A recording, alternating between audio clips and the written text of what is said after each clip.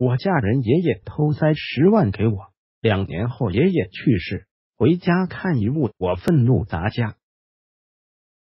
小时候自己的记忆几乎都是爷爷去干什么，有什么好吃的都是爷爷带着。我给我对于我爸妈的印象，我是模糊不清的。小时候，我便是跟爷爷生活在一起，所以我对我爷爷的感情十分的好。但我八岁的时候。由于我要去上学，我爸妈便从老家带我去了外地，留在他们身边，好照顾我上学。虽然我在外地上学，但我有时候总想到爷爷。每一个寒暑假，我都会老家跟我爷爷一起生活。而每次我在我刚到的时候，爷爷总会下厨做一顿大餐来给我吃。几乎算是每次都有，这让我十分的留念和爷爷生活的时间。随时时间的流失，我也越来越大，而爷爷也越来越苍老。而且由于我读书的压力越来越大，我寒暑假总被我爸妈带去上补习班。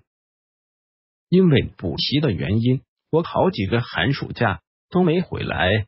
后来一次，我忍不住坚决不去上补习班，才使得自己回来老家。到现在，我还很清晰的记得当时我爷爷看到我回来的那个眼神是多么的慈祥，眼里含着泪花。那时候，我感觉在爷爷的怀抱里是多么的温暖。我上了大学后，当时自己每个星期都有去做兼职，也在兼职的时候，我认识了我老公。老公性格很阳光，可以说是对我性格十分合适的。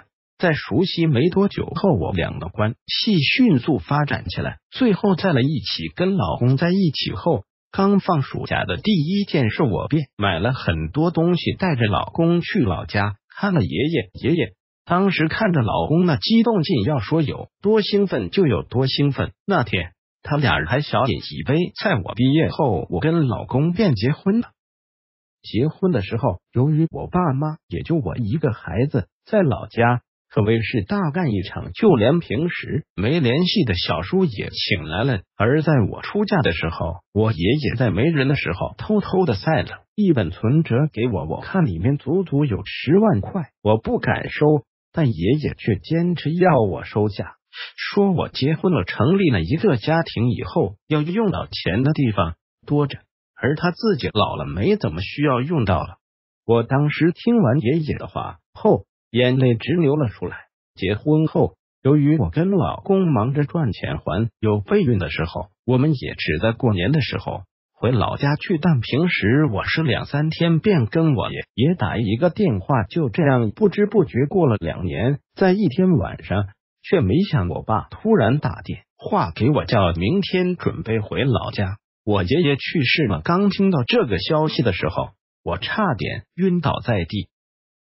我想不到明白爷爷怎么走的这么突然。我当夜跟老公连夜赶回了老家，在看到爷爷冰冷的身体时，我还是坚持不住伤心，过度晕了过去。办完爷爷的后事后，我在整理爷爷的遗物时，却发现了一份土地赔偿说。原来老家的房子受到了政府的征收，赔偿了一百二十万。我没想到爷爷在上面填的赔偿人却是我的名字。